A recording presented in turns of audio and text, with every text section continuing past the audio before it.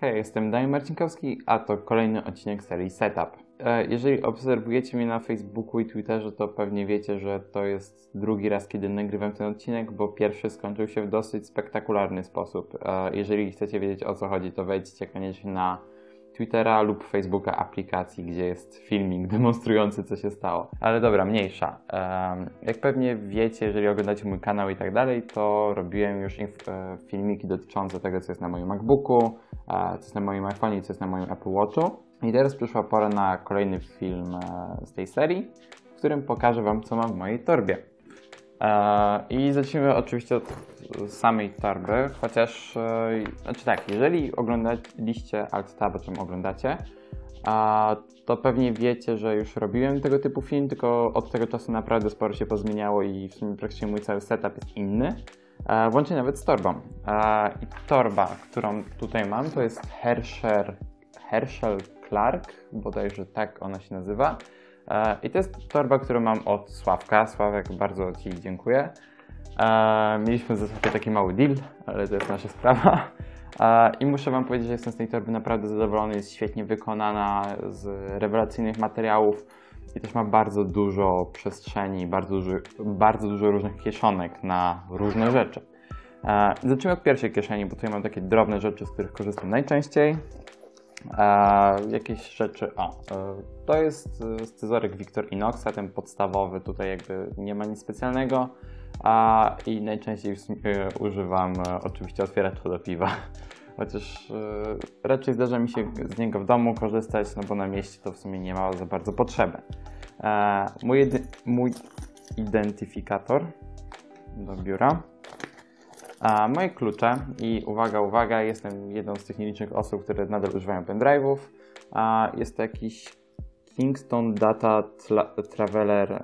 On ma tylko 8 GB, ale powiem, że często mi się przydaje i też mam już go jakieś 2-3 lata i od tego czasu w ogóle się nie zniszczył. Zresztą o nim akurat mówiłem e, w Alt-Tabie. Mam też ściereczkę do wycierania ekranu, bo nienawidzę upalcowanego telefonu i zegarka. No i ostatnia rzecz, która wzbudziła ostatnio bardzo duże zainteresowanie na Twitterze, to mój portfel. Eee, Jest to Elephant Wallet, konkretnie model N-Wallet. Eee, I ogólnie dowiedziałem się o tej firmie od Grześka z Apoteki, który właśnie wrzucił na Twittera informację, że jest taka strona i że jest to strona, która jest e, polska. Jakby to jest polski produkt i ogólnie działa to na takiej zasadzie, że e, mamy tutaj dwie aluminiowe płytki. Akurat w moim przypadku aluminiowe, bo jest też wersja z poliwęglanu, tak to się chyba nazywa, z plastiku oraz drewna. I te dwie płytki, właśnie tak jak mówię, aluminiowe, są e, trzymane za pomocą jakiejś gumki. U mnie to jest materiałowa, mam jeszcze zapasową silikonową, ale ona jest zdecydowanie za ciasna, więc e, raczej polecam zakup tej materiałowej. A, I działa to na takiej zasadzie, że tutaj jest taka przestrzeń, mogę tutaj wsadzić palec i wtedy te karty a, wychodzą tak na zewnątrz. Potem mogę właśnie zgiąć portfel i wybrać kartę, którą chcę zapłacić, czy nie wiem, wyjąć dowód. Jest bardzo fajnie wykonany ten portfel i też jest bardzo duży wybór, jeżeli chodzi o same materiały i jakby jego wygląd, kształt i tak dalej. E, No i także sposób korzystania, bo jakby każdy się różni. Te- Też jest na przykład wersja pionowa tego N-Walleta. Więc jeżeli jesteście zainteresowani, to zapraszam. E, Jestem naprawdę zadowolony, korzystam z niego od niecałego tygodnia e, i muszę przyznać, że jestem pod ogromnym wrażeniem. Ok, w tej kieszeni jest to wszystko. Jeszcze mam tutaj drugą, ale tutaj trzymam po prostu gumę do rzucia, no bo jak się pije dużo kawy, to przydałoby się po tej kawie mieć dobry oddech. Dobra, e, to przejdźmy do głównej kieszeni. Zresztą bardzo fajnie zabezpieczonej przez taki magnes.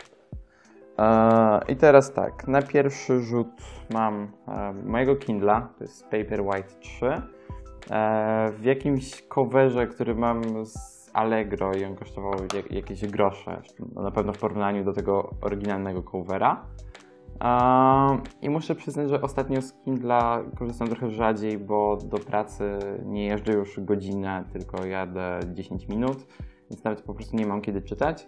Ehm, Ostatnio za to sobie czasem w domu podczytuję e, biografię Steve'a Jobsa, bo jeszcze jej nie, nie przeczytałem. i też właśnie mam tutaj kilka książek do przeczytania. A, muszę się za to wziąć, bo ostatnio bardzo, bardzo źle mi to idzie. Ok, dalej mam moje notatniki. Są to field notes z serii, nawet nie pamiętam już jakiej. A, I muszę przyznać, że korzystam się z notatników naprawdę dobrze. Jakość papieru jest świetna i znaczy, postawiłbym ją między Moleskinem a Leuchtturmem 1917. Oczywiście Leuchtturm na pierwszym miejscu. No jestem zadowolony z tego, jak to wygląda. Jak działa, to raczej działa dokładnie tak samo jak każdy inny kawałek papieru. I też e, gdybym miał kupować, znaczy gdybym miał wybierać sobie kolejne notatniki, to na pewno będą to te. Są też bardzo kompaktowe, bardzo fajnie się z nich korzysta. No i w tych notatnikach piszę tym oto długopisem. Jest to Muji Gel Ink Pen. Polecił mi go Sławek. Jest fajny, tylko jest trochę drogi i można go kupić dosłownie chyba w jednym miejscu w Polsce. Na szczęście mieszkam dosyć blisko tego miejsca, więc zawsze mam to pod ręką. Te długopisy chyba kosztują jakoś 8-9 zł, coś takiego. Ale można też kupić do nich bardzo tanie wkłady w tym samym sklepie. To jest jeszcze jeden długopis, taki z rysikiem, jakby nic specjalnego. E, mam Magic Mouse'a dwójkę i ją serio noszę codziennie e, z jednego głupiego, prostego powodu. Po prostu się skończyły u mnie w pracy i noszę swoją prywatną myszkę. Jest ok, długo trzyma na baterii, jakby bardzo fajnie wspiera gesty Mac, Mac OS-a, więc jeżeli ktoś ma Maca, to polecam. Jakby może nie jest aż tak ergonomiczna jak lepsze myszki, ale za tę cenę jest naprawdę spoko. No chociaż to nie jest niestety mała cena. E, ale też oczywiście mojego MacBooka, o którym już mówiłem, jakby nie chcę się rozgadywać i ja go nie noszę w sumie w tej torbie, chyba że jest, gdzieś jadę na jakąś konferencję czy na jakiś wyjazd, to wtedy go rzeczywiście wrzucam do tej torby. E, a tak tego nie noszę, bo w pracy mam dokładnie taki sam, więc e, no po prostu nie mam potrzeby. Ale okej, okay. co mam tutaj jeszcze? Mam kolejnego pendrive'a, tym razem ode mnie z pracy. I ostatnia kieszeń, w której mam tak. E, to jest taki przewodzik ze standem na iPhone'a. Zaraz mogę Wam pokazać, jak to wygląda. Znaczy, ogólnie prezentuje się to tak i mogę dzięki temu sobie położyć iPhone'a na biurku. To jest od firmy PQI, tylko niestety nie mam pojęcia jak to się nazywa, bo ja to dostałem na konferencji iSpota.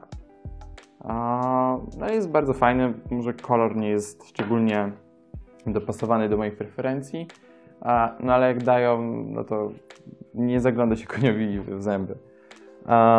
I ostatnią rzeczą jest powerbank, jest to, zaraz Wam powiem, jest to, nie, nie jest to do Xiaomi, jest to Greencell, Greencell Pro konkretnie. Dostałem go od e, świata baterii i wspomnieliśmy właśnie na temat tego producenta i tego sklepu w w Alt Tabie, tak.